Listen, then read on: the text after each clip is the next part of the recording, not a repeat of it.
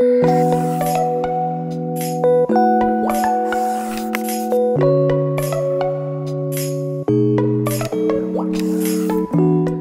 んにちは。こんばんは。たけちゃんです。今日も動画をご覧くださいまして、どうもありがとうございます。はい。今日ですね、何話そうかななんて思ったんですが、50歳から自信をつける方法っていうようなね、そんなね、話をしようかななんて思います。まあ自分がね、50を過ぎてからね、本当にね、人生がね、大きくね、変わったななんて、そんな風にね、思ってるんですけど、その中のね、一つに、やっぱりね、あの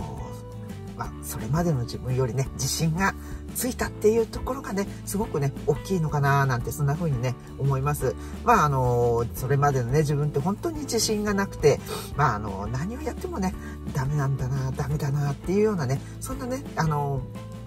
気持ちでね、ずっといて、本当にね、自分に自信がなかった。まあ今もね、自信があるかってね、聞かれたら、まああの、自信ありますよってね、口では言ってるけど、内心ではね、自信がね、あのー、ないっていうのがね、正直なところなんですが、これね、自信がないっていう、そんなね、ことに対して、まああの、自分は自信がないからダメなんだっていうようなね、そんな風にね、思わなくて別にいいんですよね。まああの、あるね、方がね、アンケートっていうか調査をしたところ、あの、人のね、8割以上、まあ、外国行くとね、また別らしいんですけど、日本人のね、8割以上の方が自分にね、自信がないってね、まあ、アンケートを取ると、まあ、答えるそうです。それで、あのー、まあ、逆にね、自信がね、すごくあるっていう方はね、まあ、あの、2割弱、まあ、2割もね、達していないっていうことなんですけど、まあ、これね、考えると、そのね、自信のある、っていうね答えられる2割の人って何をやっているのかなっていうふうにね思うとまあそういうその人たちっていうのはねあのたくさん挑戦している人がねやっぱりね自信があるっていうことですやっぱり自信がないっていう人はね、何もね、挑戦していない。逆にね、自信がないからね、挑戦もできないし、まあ、挑戦しないから自信がないっていうようなね、そんなね、ことで、やっぱりね、せあの、自信をつけるためには、あの、いろいろね、挑戦をする。それでね、その挑戦をして、まあ、成功体験をね、積み重ねるっていうのがね、すごくね、大事ですけど、まあ、あのー、成功、ああの、成功体験っていうのはね、まあ何かね、やったことのないことをね、やってうまくいったっていうようなね、そんな成功体験。まああの、例えばですけど、普段ね、やっていることで、あ、ちょっとうまくいったっていうようなね、そんなことではなく、本当にね、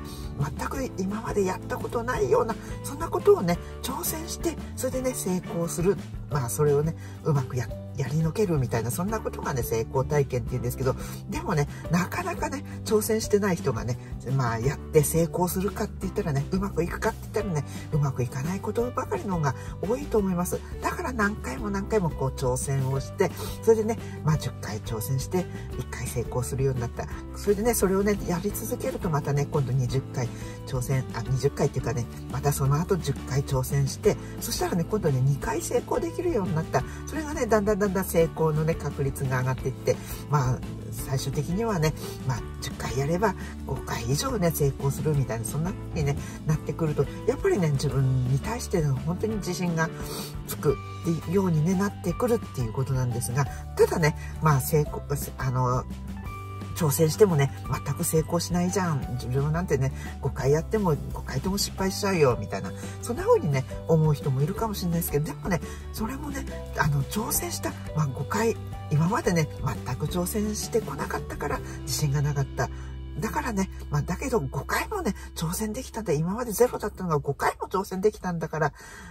俺ってすごいよね、みたいなね。そんな風にね、まあそれもね、自信につながる。だからね、まあ成功体験をね、積み重ねてっていうようなことをね、言ったんですけど、でもね、成功しなくても挑戦するっていうことにね、本当にね、自信にね、つながる。そんなね、意味にね、あの、つながってくると思いますので、まずはね、自信がないって人は何かね、自分にね、あの、まあ、やったことないような、そんなことにね、挑戦してみるっていうことがね、本当にね、あの、効果的っていうか有効で、まあ、例えばですけど、まあ自分ね、あの、髪の毛で染めたことないんですけど、まあ一回ね、ちょっとね、あの、市販のカラーあるのでね、ちょっとだけね、あの、染めたことあるんですけど、全くね、それ以外、その一回きりでね、全くやってない、これをね、金髪にしてみるとかね、あの、まあ、あの、今ね、仕事上接客業なので、まあ、金髪にはね、できないんですけど、まあ、心の中ではね、金髪にしたい、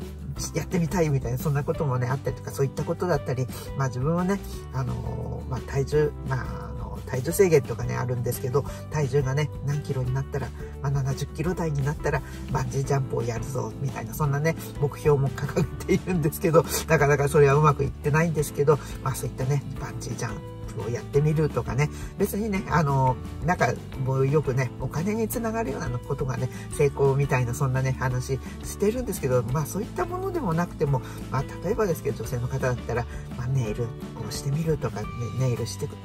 したことない人はネイルしてみるとか、そんなことでもね、いいんでね、まずはね、挑戦をする。それでね、まあそれがね、あ、綺麗だねってね、誰かにね、褒められたりすると、本当に自信にね、つながったりします。で、まあまずはね、やってみたやったこともないことをやってみるっていうことがね、本当にね、自信につながっていくんじゃないかななんて、そんな風に思います。それがね、失敗に終わったとしても、まあ、挑戦したことっていうのは本当にね、あのー、自信にね、つながることだと思いますので、あの、それをね、何回も何回もいろんなことにね、チャレンジしていく。まあ、行ったことのない場所に行ってみるっていうところのね、挑戦の一つなのかもしれませんが、あそういうことをね、まあ、続けていくと自信にね、つながっていくんじゃないかな、なんて、そんな風にね、思いますます。